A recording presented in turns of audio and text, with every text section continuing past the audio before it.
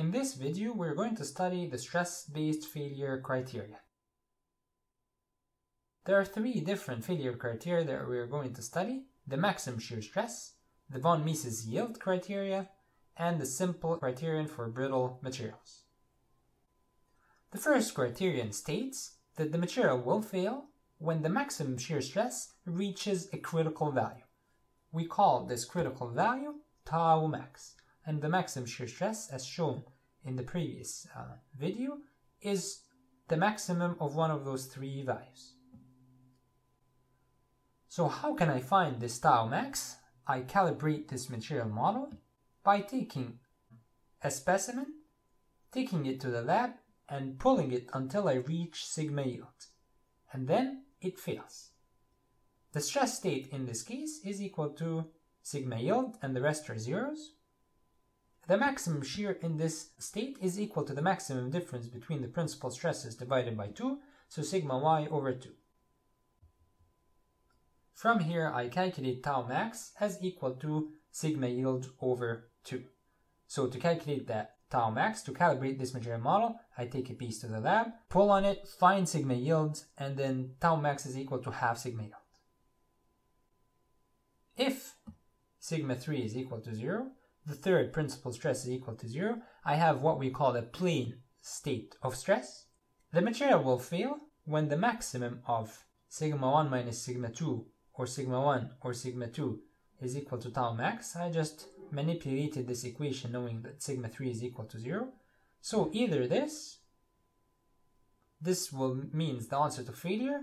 The safe zone is if the maximum of these values is less than 2 tau max.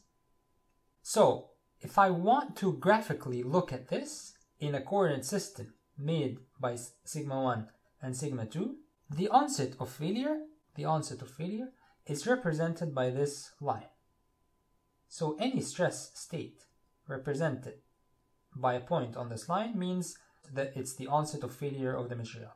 Any point inside satisfies that the maximum is less than 2 tau max, which is the safe zone.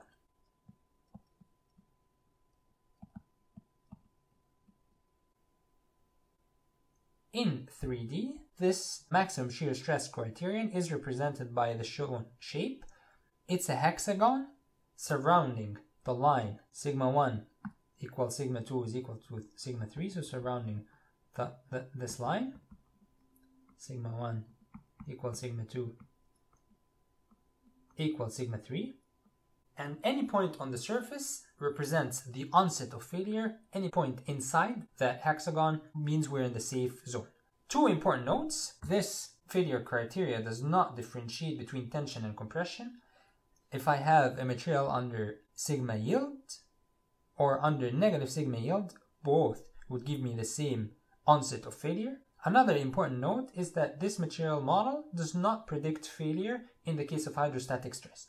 If I take a piece of material and put it in a hydrostatic state of stress where sigma 1 is equal to sigma 2 is equal to sigma 3, in that case, this maximum is always going to be equal to 0 because the maximum difference will always be equal to 0 and therefore I'm never going to predict this material will fail.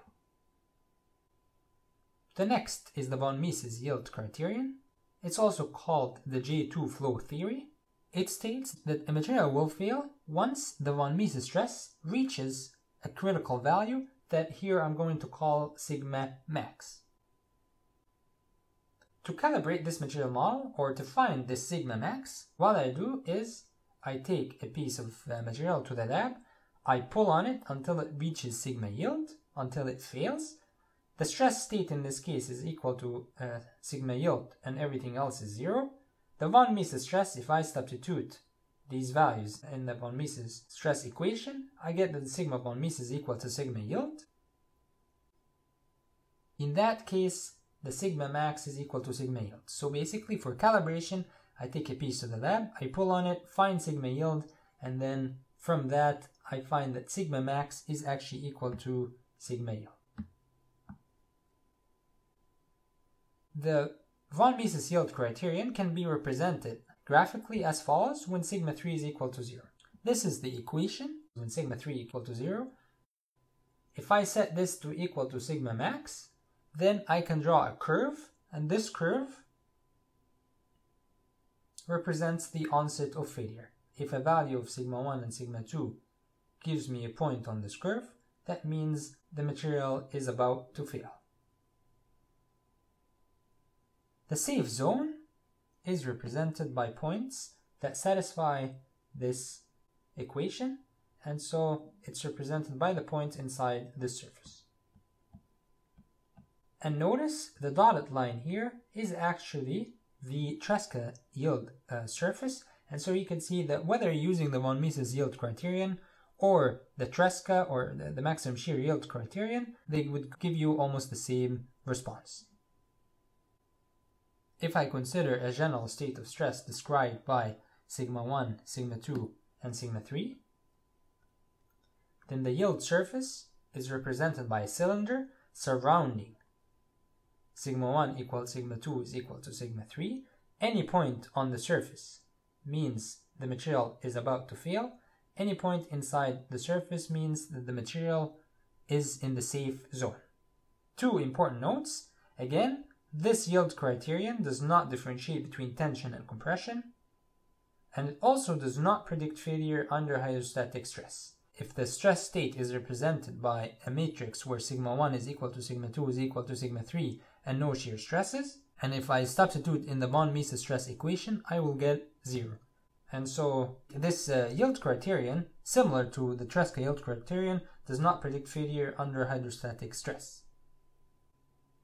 The third and last criterion for failure is a simple criterion for brittle materials. It basically states find the principal stresses sigma 1, sigma 2, and sigma 3 and make sure that all of them are less than the, uh, the maximum tensile stress that the material can take and higher than the compressive stress that the material can take. So for every i, where i is 1, 2, and 3, make sure that the compressive stress is less than sigma i is less than sigma t, where t is the tensile strength of that brittle material.